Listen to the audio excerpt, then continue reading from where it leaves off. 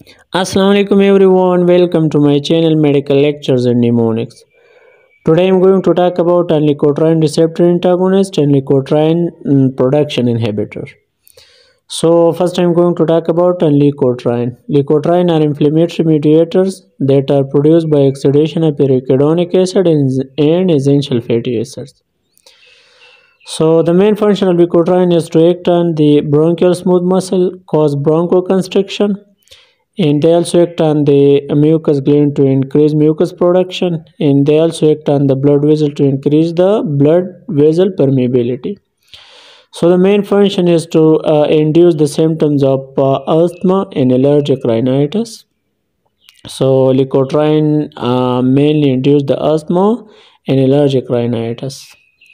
Now the leukotriene receptor antagonist. So the, we have two type of drug one uh, one is the leukotriene receptor antagonist which block the of leukotriene and leukotriene receptor. The other uh, the, the other block the the leukotriene production.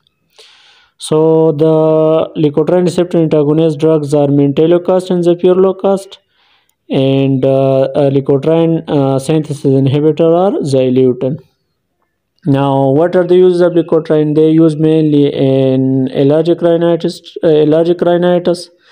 They also used uh, to reduce the symptoms of asthma, and they also used to reduce the symptom of chronic obstructive pulmonary disorders.